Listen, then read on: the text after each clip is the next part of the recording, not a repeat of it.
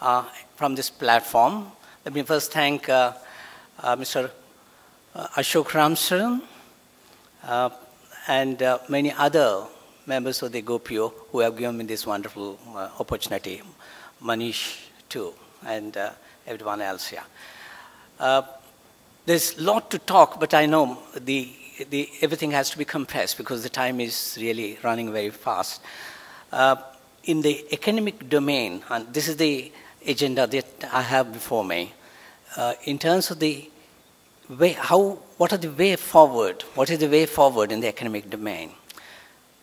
Few things have been done. We have a couple of publications, and I was just talking to Ambassador Shashank just a while ago. He said he has come across a, a publication on all uh, diasporas over the world from the Center for Diaspora Studies.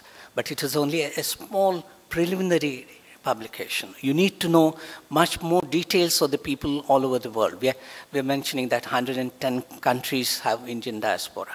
And we need to have all the details as a database with us to deal with the Indians everywhere, to know about their conditions, what are the issues they come from, because each country has its own specific issues, socio-economic and political issues. So we need to identify some of these which uh, need to be extensively researched. So I hope uh, maybe in a course of time, the GOPIO can take this as a uh, significant agenda and pursue building up a strong database on uh, Indian diaspora. A few publications have come. There is an Encyclopedia of Indian Diaspora published from, uh, um, from, from Singapore, but then uh, it's only limited and sketchy. You need a holistic um, data dealing with when you talk about the encyclopedia. Um, then um, you know, the high-level committee has identified there are certain issues which need to be pursued by the government of India. But I know that government of India cannot pursue, I will not pursue, unless there is a push. And GOPIO has a very important role to push the government to get into the domain which need to be attended to by the government.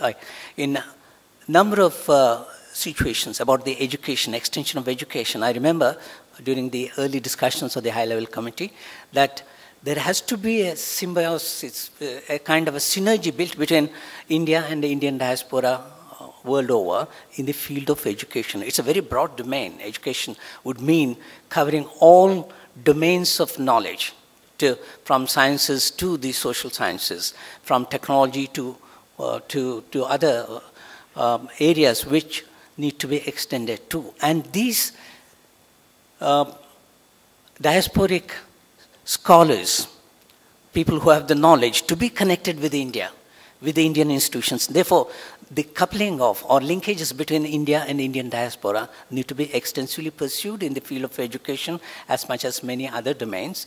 And uh, uh, recently I had to come across a, a, conference for which I was invited to speak on India beyond India. And as I was visualizing how India can be when it becomes borderless, how does it become borderless? When we really break the barriers that we have already have in, then it becomes borderless. And you can see India much beyond the frontiers of Indian country itself. And that is where the world is going to be under the contemporary globalization, which takes us far beyond the boundaries where we are located.